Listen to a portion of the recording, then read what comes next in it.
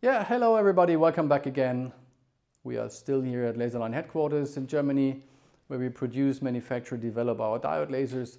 And to give you a little bit of an overview, we have decided to do some videos. So hello to those joining us the first time. And as I said, welcome back to those who have watched some before.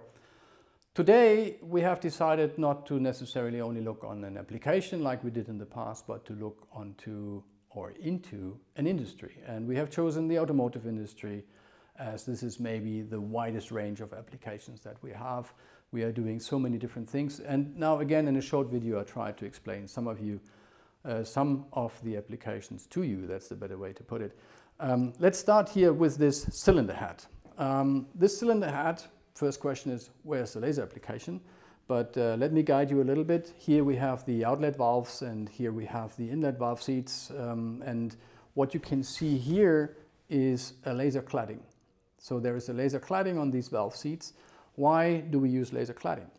The geometry of these valves is changed compared to past settings. And with this change of the geometry, we have a different flow of the oxygen, air, gasoline mix, and this helps to do a better efficiency. So we have a reduced gas consumption. The geometry is changed in a way here that we cannot put, or our customer cannot put the classic sintering to have a long life of the valve seat. So this was substituted with the laser cladding to allow the special geometry that they have designed for the fuel consumption. And only laser cladding was the solution to substitute this sintering. And so a very interesting application where many, many of our lasers already are used now over the world in the automotive industry. So cylinder head was one example for the automotive industry, but um, as I mentioned in the, in the opening, it's so wide. And uh, let's kick off with, with some more applications in the sheet metal. So this is a test sample that we did in our application lab, and it's a test sample for the roof part to the side part of a car. And here it's a classic brazing application. You need a copper silicon wire. You join the, the parts by melting the wire and after resolidification you have a joint of the parts. Then the automotive industry changed from uh, galvanized steel to hot dipped steel. So the hot dipping is the thicker, has more issues, and we needed to overcome some problems where here at the side we had um, so-called edge notches, we had porosities, and what we had to do is we changed the spot size. So from a classic round spot, we moved ahead to what we call a triple spot. Yeah? Maybe in this camera we can see this a little bit better. So we have a main spot and we have two additional spots that run upfront the application, clean the zinc and have a much better setting. So a little bit deeper explanation for such a triple spot. I call it Mickey Mouse spot sometimes. Not everybody loves it, but it's very obvious, I think. Here is the main spot to do the brazing, and here are the two spots running upfront the application to clean the zinc. What you can also see from the setting is we have different power levels in the left and in the right. So we can determine which gets a little bit more power, where do we need a little bit more of the cleaning before the main spot is doing the brazing. Um, very interesting application. And here, just as a quick showing is such a multi-spot module. It's going into the beam path it's controlled by the robot. We can change the power in the front spots, the size of the main spot, the distance of the spots, and have a very flexible tool. And honestly and proudly, I can say nobody else can do that in this application. The same spot, no, that's wrong. The same module was also used to do something that we call spot in spot. And so a spot in spot would look like this. We have a center spot with high power and a surrounding spot to smoothen the weld pool after my resolidification, during my resolidification. What does that mean? When we do something like this, we can create a smoother surface. Here is another example, automotive, very obvious, it's a door. And here we have a laser welding. And this laser welding, always we show this with little, this little mark, is done with spot in spot. And when we try to look at it with a little closer look, we see it's a wonderful surface directly going into painting, doesn't need a rework, no spatters, no porosity. And a lot of people can even save the wire. So typically aluminium is welded with the wire and the wire has a lot of cost and this cost of the wire can be saved. So switching gears, moving away from the very obvious parts in the automotive like the cylinder head or the car body parts, let's look at something else. What's that? That's part of a camshaft. So the camshafts that are pressing the valves in the cylinder head and creating the, the cycle. So some of the cylinders today are switched off if the car is moving very silently without big accelerations, big brakes, and where sometimes it is very reasonable to just run the car with two cylinders instead of four. So here is a mechanism, a mechanical setting where this camshaft can be shifted, can be moved.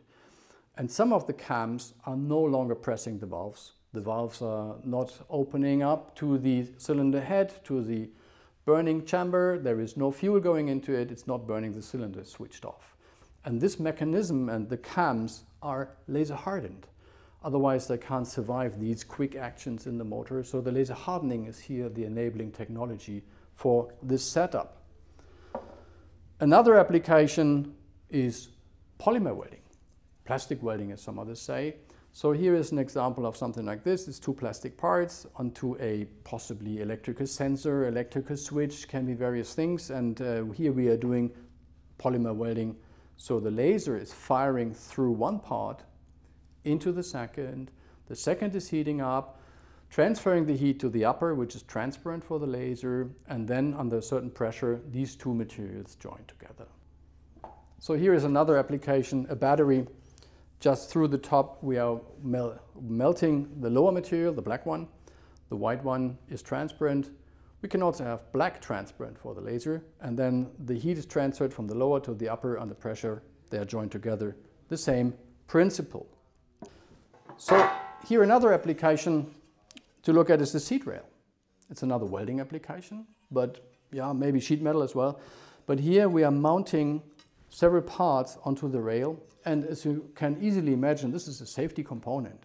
I mean, I would be happy if I break, my airbag is opening if in an accident, and my seat rail is still sitting where it should be, and my seat is not going through the front window.